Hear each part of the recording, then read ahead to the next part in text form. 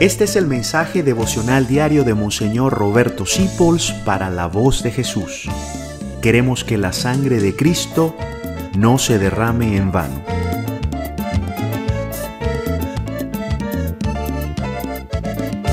Paz y bien en nuestro Señor Jesucristo.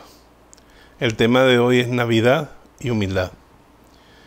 Y es que nosotros nos hemos puesto tanta escarcha y tanto brillo, que está bien porque es algo digno de celebrarse, que a veces se nos olvida que la Navidad es el gran regocijo por la humildad de Dios.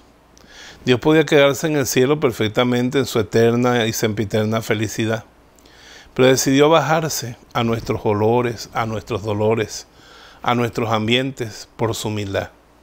Y vino a estar entre nosotros como el más pequeño de los hombres. Y nosotros con este copete de soberbia que nos hace exaltar nuestro egoísmo, nos hace irascibles, nos hace susceptibles, que no nos pueden tocar ni con el pétalo de una pluma. No. Vamos a ser humildes como Jesús. A buscar el último lugar. Imagínate que llegas a Belén y andas buscando al niño Jesús porque tú lo quieres ver. ¿Dónde lo vas a conseguir? En el último lugar, allí en el pesebre.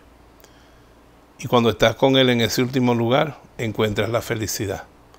Entonces que Dios te conceda ser humilde. En estos días que hay tanto agite con fiestas y cosas, descárgate, deja el estrés y contempla la humildad de Dios. San Francisco de Asís, nuestro Padre, el Maestro de humildad, le gustaba en estos días ver la hostia consagrada en la misa, ver el Santísimo Sacramento y decía una frase que yo te regalo hoy.